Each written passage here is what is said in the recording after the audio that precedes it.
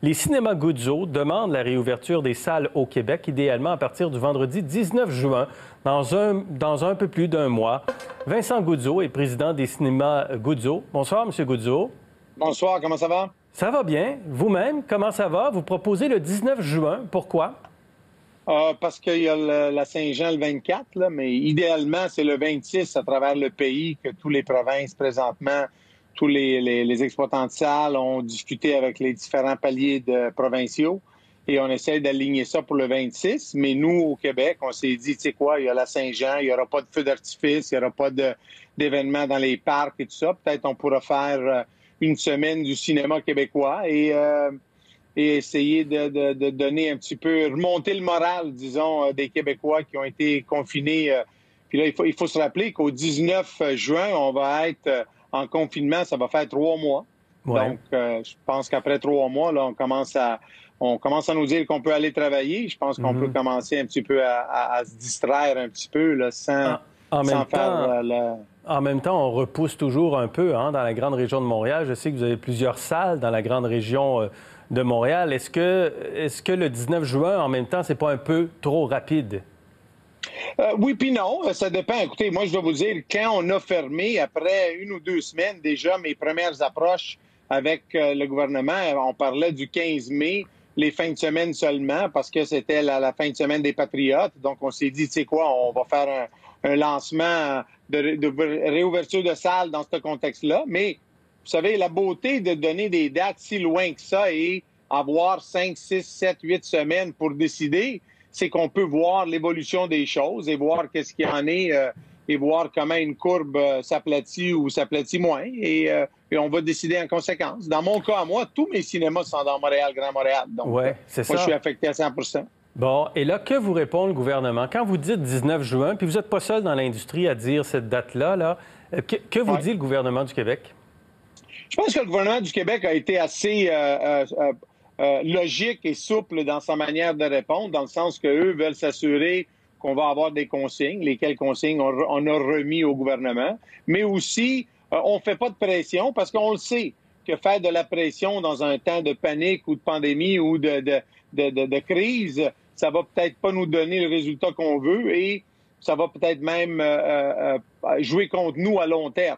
Donc l'idée pour nous, et je pense que le ministre des Finances l'a dit avant moi, que euh, plus long est la, fermeture pour certaines industries, plus ça va prendre de temps à remettre les choses dans un certain équilibre. Dans notre cas, nous, vous savez, l'élément qu'on parle jamais quand ça vient aux salles de cinéma, c'est qu'on oublie que le contenu, il n'est pas à nous. C'est pas comme un restaurant où c'est nous qu'on fait la pizza puis on la vend. Nous, notre contenu, on le prend ailleurs.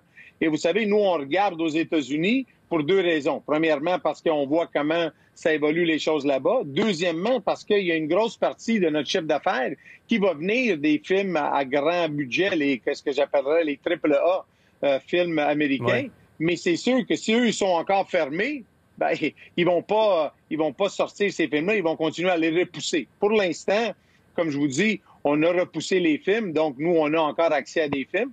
On a dit le 19 parce que ça venait en ligne, comme je vous dis, avec la Saint-Jean et parce que c'était euh, deux semaines, trois semaines avant la sortie euh, continue de certains films, dont le plus grand de tous euh, serait le premier, qui est le Chris Nolan, qui est honnête, qui sortirait le, 17 juillet. Donc, on se prépare. là. L'idée, c'est que nous aussi, il faut qu'on rôde notre personnel pour le, contexte actuel. Et là, aux États-Unis, au Texas, par exemple, on a commencé tranquillement, mais les, les cinémas rouvrent lentement.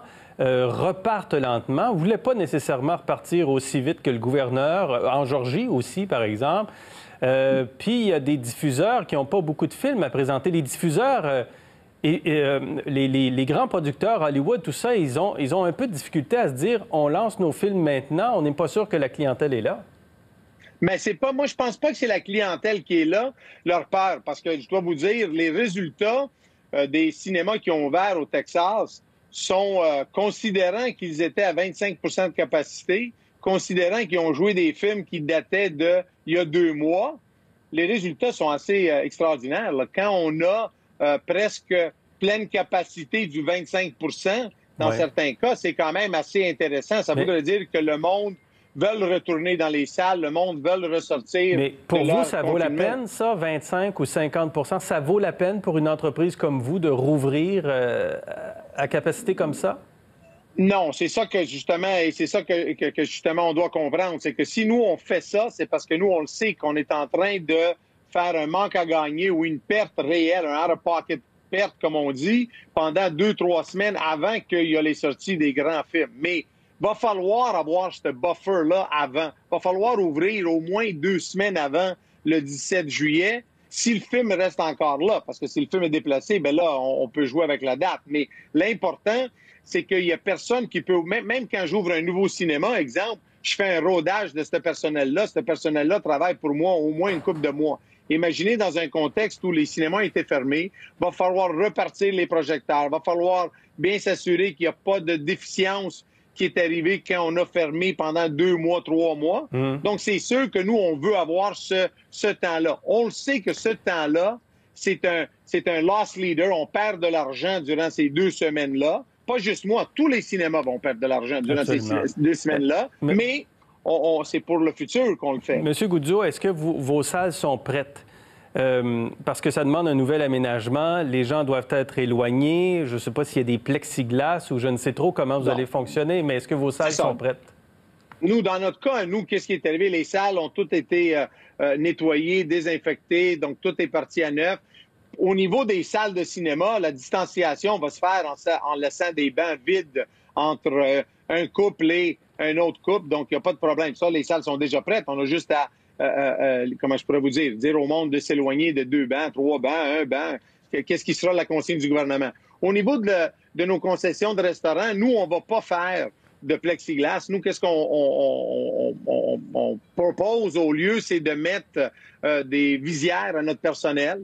ça va rendre notre personnel plus en sécurité. Ça va aussi donner une image plus sécuritaire à notre à, notre monde sans... Vous savez, l'important, c'est qu'on va dans un cinéma pour se divertir. Je veux pas qu'on crée l'ambiance qu'on est en train d'aller à l'urgence d'un hôpital. Non, je on, a quand même on a quand même commandé des stations de, de de, purelles, on va les appeler comme ça pour, euh, pour bien qu'on soit clair, là, euh, pour les entrées au niveau du cinéma. Quand on paye, on va rentrer avant de, de passer la guérite, comme on dirait, de, du placier. Lui va s'assurer qu'on que les clients se désinfectent les mains. Et on attend après d'autres consignes du gouvernement. Mais je veux quand même, je veux quand même souligner, ouais, je veux quand même souligner que si on va dans des épiceries ou si on va dans des Walmart, là, les consignes qu'il y avait là ou les, les, les comment je pourrais dire, les, les, les procédures qu'on avait la première semaine, là, je dois vous dire, moi, j'ai été là, il n'y a pas d'employé avec des gants, il n'y a pas d'employé avec des masques, on est en train de remplir les étagères comme on veut, puis il n'y a pas de consigne spéciale. Donc, moi, je vous dis, c'est pas pour ça que je veux faire ça. Je dis juste, faut pas devenir germophobe et, et, l'appliquer à certains commerces et pas l'appliquer à d'autres. Parfait. On prend note de ça. Merci beaucoup, M. Goudzo. Merci à vous. Ça m'a fait plaisir.